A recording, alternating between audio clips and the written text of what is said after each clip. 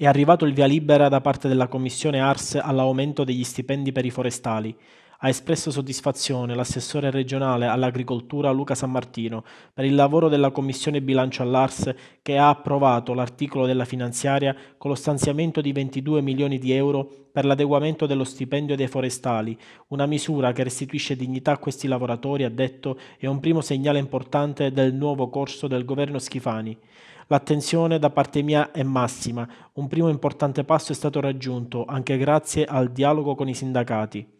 Adesso la manovra proceda spedita per l'approvazione in aula.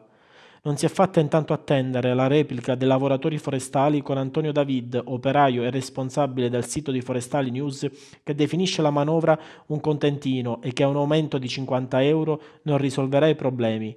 Certamente è ben accetto l'adeguamento contrattuale dovuto a tutti noi forestali, dopo anni di disparità anche rispetto ai colleghi delle altre regioni, con una non applicazione del contratto nazionale, ma non è questo contentino, ha concluso, che ci aspettiamo dalla nostra regione.